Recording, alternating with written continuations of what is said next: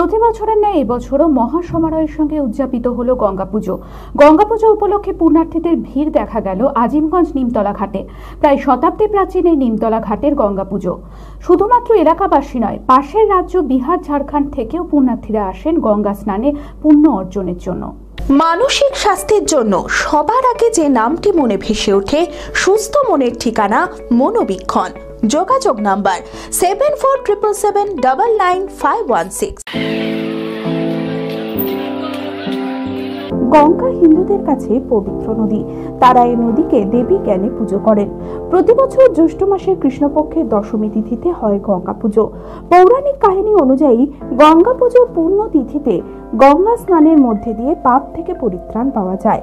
তাই গঙ্গা পুজোর গুরুত্বও অপরিসীম। প্রতি বছরের ন্যায় এই বছরও মহা সমারোহের সঙ্গে উদযাপিত হলো গঙ্গা পুজো। দূর দূরান্ত থেকে গঙ্গা স্নানের উদ্দেশ্যে অসংখ্য ভক্তদের সমাগম ঘটে গঙ্গা তীরে। ছোট বড় সকলেই সকাল সকাল সকাল গঙ্গা স্নান করে গঙ্গা পুজো করেন।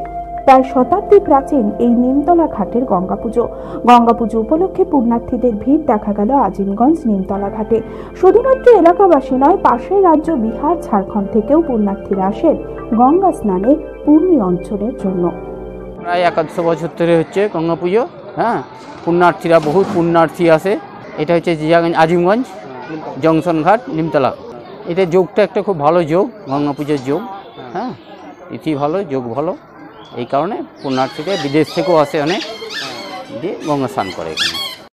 চঞ্চলতা তার কথায় কথায় জীবনে আমারই মতো আমার নিজের পতাকা। পতাকা চা গজব কা শাহ